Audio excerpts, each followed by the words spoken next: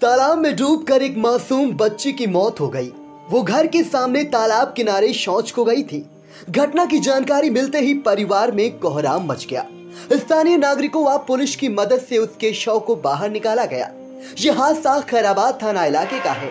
क्षेत्र के बद्रीपुर, मंसूरपुर के पूर्वा, पाठकपुर निवासी महावीर की तीन वर्षीय पुत्री दिव्यांशी अपने घर के सामने बने तालाब के किनारे शौच को गई थी।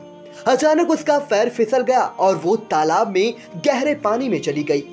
तालाब में डूबने से उसकी मौत हो गई। कुछ लोगों ने तालाब में उसका शव उतराते देखा। तो परिवारी जनों को इसकी जानकारी दी। जानकारी पाकर मौके पर पहुँचे परिजनों व ग्रामीणों ने उसे बाहर निकाला। इससे परिवार में कोहराम मच गया है।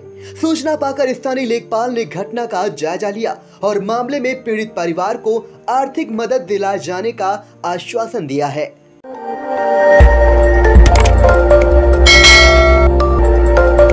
खबर आपकी नज़र हमारी। देखते रहिए आई इंडिया।